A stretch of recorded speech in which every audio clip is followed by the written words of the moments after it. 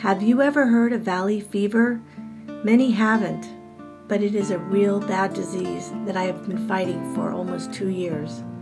When I was a puppy, I inhaled something in the dirt and it attacked my lungs. It made it hard to breathe and then it moved into one of my legs.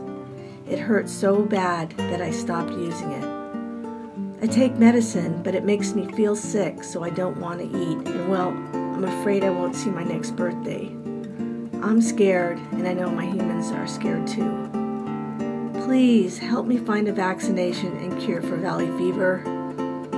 It may be too late for me, but hopefully it won't be too late for you or your dog.